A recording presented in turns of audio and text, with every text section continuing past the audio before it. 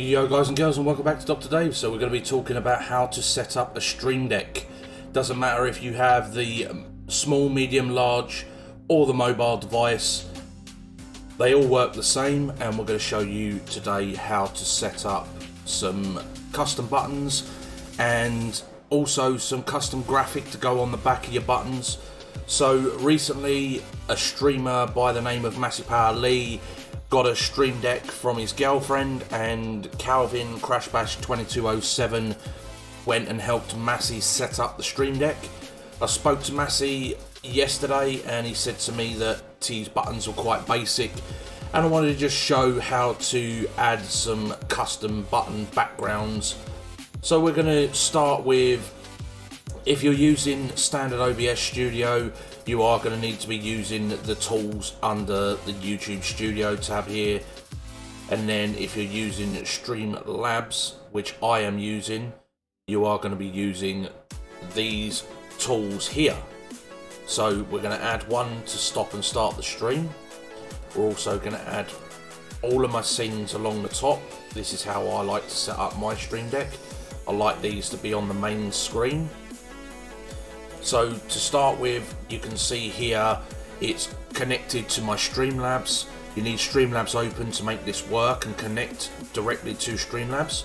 So button one is my starting soon screen, button two is going to be my live screen, button three is going to be my be right back screen, and then the last one is my intermission screen. If you've been watching my channel for a while, you know that I tend to jump to the intermission screen to say my hellos and goodbyes on my stream. I just find it's a little bit more personal, you know, you kind of take the gameplay off the screen. The webcam becomes a bit bigger and you can do your introductions and, and your goodbyes, etc.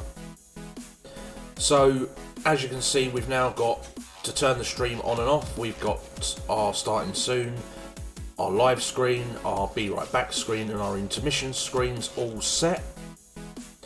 Then we also have down here, you can go to a specific website, which I like to put my YouTube studio URL here. So I can click one button and it will automatically go straight to the stream, um, to the YouTube studio section. So I can enter my thumbnails, titles, etc. there. And then you can also use this one uh, where it says open to open a specific program. And then you've got your multimedia keys so you can do this and you can change this to previous track, play and pause, next track, stop, mute, increase or decrease volume, whichever you choose. So for me, I have a Go XLR, so I don't tend to use this button. So I'm just going to take that one away. And then you've also got uh, your Twitter, so you can tweet out that you're going live. You've also got YouTube message, so when you put this one in, you can type a message here, and when you press this particular button, it will send the message directly to your stream chat over on YouTube. Again, I don't use that because they can hear me via the microphone. Um, you can also put this one in, which will then show you your views, and you obviously need to connect your account, so you add account, and then you can also go in here and you can turn the size of the um, text up and down. Again, not something that I really use because I use Streamlabs OBS and the viewership is in the top corner. And then you've also got the control center for any Elgato devices like the streaming lights or RGB lights that they offer. So you can change all the brightness, etc. And then you have YouTube, uh, sorry, you have Twitch Studio, but the Twitch Studio doesn't really have a great deal of options here. So if you want more options for Twitch you're going to go to more actions and you're going to come in here and you're going to download this Twitch control panel right here. And then when we go back we go down. You can then add a chat message exactly the same as you did over on the YouTube one. You can clear the chat, emote chat, follow chat, play an ad, slow chat you can change your stream titles and stuff via one button. You can do sub chat. You can create stream markers. You can see your viewers. You can clip. You can open your last clip. And then you've also got the Go XLR. But again, if you don't have a Go XLR, this one's pretty useless to use, so don't worry about that one too much. If you use Voicemod, you can also click your buttons and change your voice to a robot or an echo, etc. Under this tab, you just, you know, drag and drop it onto here and it will, you just press one button and it will control the Voicemod directly from here. Another great one that is available is under the Stream Deck tab, you can create a folder. So when you first get the Stream Deck, a lot of people thought it was just 15 buttons, and then they upgraded to the 32 buttons, which is very, very unnecessary because if you create a folder, you can create 15 folders, and then inside you would have a, an additional 14 buttons. So that equals a lot of buttons. So, yeah, so it's not just a 15 button it works out it's 15 times 14 which will total up to about 210 buttons if you're 15 by 14 so 210 buttons to go round on a stream deck is pretty sufficient in my you know especially for me. I mean i don't even use the fifth a lot of the 15 buttons um, it just depends what I'm doing. You know, you can create a folder, then inside the folder, you can also do like uh, if we come down here and we add a hotkey in.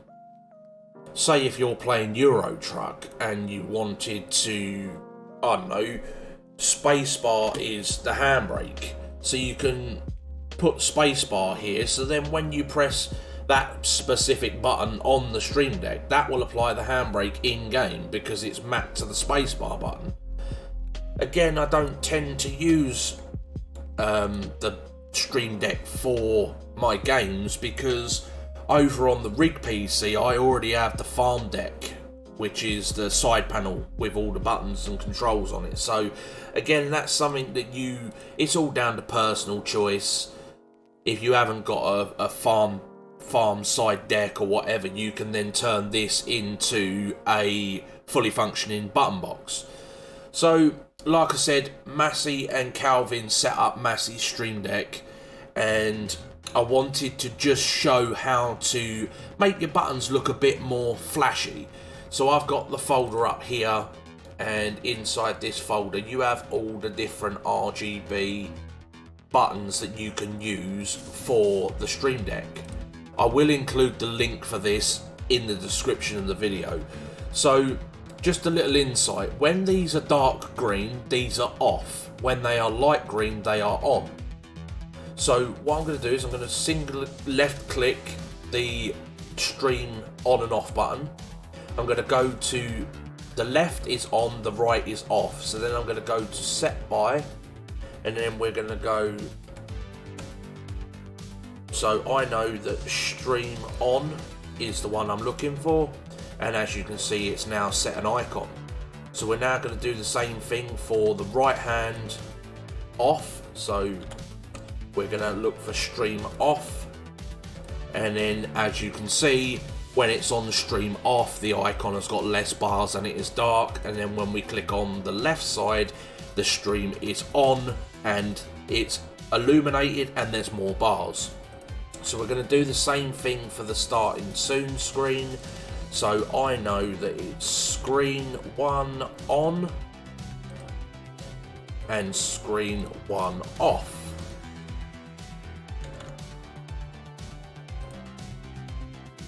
So as you can see, when the when you're not on that particular scene, there is a dark screen with a number one in it and when the screen is on it has a circle to show you that you are on that particular screen. So we're going to go across now to the live screen and we're going to do the same thing again. So I know that this is going to be screen 2 on and then we're going to go to scene, uh, screen 2 off. So as you can see right now we are currently on we are currently on the live screen. So you can see that this one has a circle and it is illuminated. And then you just carry on doing this for all of the buttons that you have on your Stream Deck. So we're going to go screen screen, uh, sorry, scene three. See, keep saying screen. Scene three, and then scene three off, and then same for this one as well, which is the intermission, and this is going to be number four. So you need to make sure that you put the on and off on both, well, on all of your icons. So when you obviously change, this one is currently on, and these are all the others are dulled out. Then when we go to a different scene, the circle will move to whichever one that you are currently on. And then over here for the URL, we are going to go and we are going to look for um, it is a YouTube icon that I'll be looking for now. So there we go, web YouTube. So I know when, so I'm going to go to the internet and I'm going to go to YouTube and I'm going to head over to my YouTube studio and I'm going to grab the URL.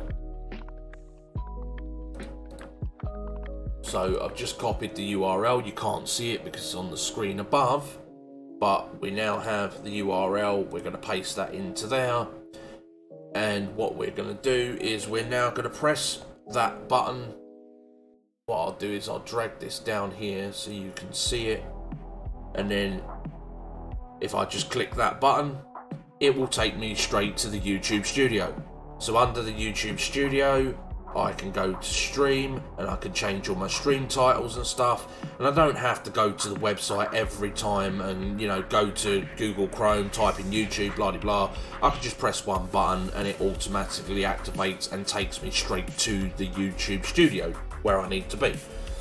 But like I said inside this uh, pack of button icons you have quite a lot to choose from you can have one that takes you to Instagram. You can have one that takes you to your Google Drive, Facebook, Google app. You've also got um, Safari if you're using a Mac. You've also got the Voicemeeter, uh, the Voicemod applications, and also loads of different icons for that.